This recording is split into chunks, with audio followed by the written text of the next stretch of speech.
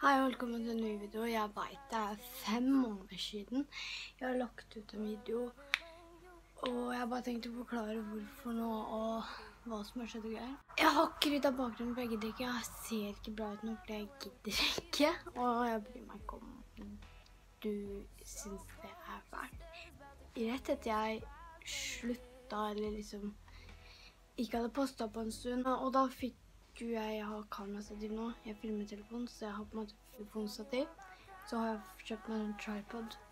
Jo, jeg kommer ikke til å si noe mer på det her, men jeg kom borti noen greier som jeg ikke skulle ha kommet borti. Jeg eh, kom borti noe som fikk meg til å miste interessen på YouTube helt, og jeg hadde ikke lyst til å redigere videoer, jeg hadde ikke lyst til å filme. Men jeg filmet så mange videoer, og jeg redigerte dem, men så tenkte jeg, nei, dette kan jeg ikke legge ut. Det går ikke bare. Selv om jeg satt og lo av det selv. Jeg kommer til å endre innholdet mitt på kanalen. Jeg har forandret meg på de fem månedene jeg ikke har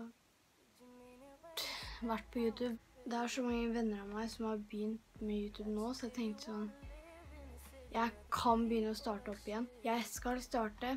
Jeg har funnet ut at det, det eneste jeg liker å lage, det er vlogger.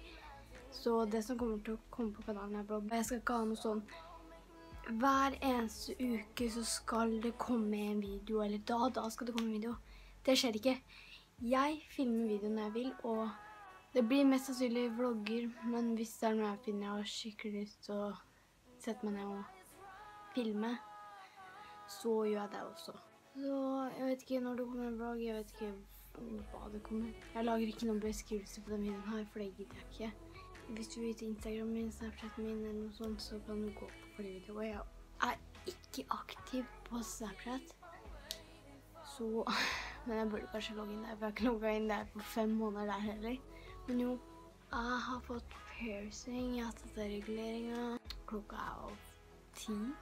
Ja, klokka ti nå. Så du vet, jeg vet ikke når det kommer video, det kommer når kommer. Jeg kommer til å oppføre meg litt annerledes fordi at jeg har forandret meg en del. Jeg har ikke den jævla prinsessa jeg var på den på turen forrige videoen. Og, og, jeg vet jeg Jeg vet jeg lagde en video på at hvis jeg slutta, så skulle jeg lage video. Eller hvis jeg tok en pause, så skulle jeg lage video. Det gjorde jeg aldri. Jeg bare mistet motivasjonen. Jeg hadde ikke lyst, altså. Før at jeg kommer tilbake nå, siden det er så mange venner av meg som har begynt på det, så kan vi finne noe sammen noen greier. Gi en tommel opp. Gjør hva du vil. Like, dislike, skriv hatkommentarer, skriv kommentarer. Jeg bryr meg ikke. Vi snakkes i neste video. Når det kommer en. Hvis det kommer en. Det kommer mest sannsynlig en. Når det skjer noe spennende i livet mitt. Som det andre aldri ser. Aldri skjer. Neste video. Ha det.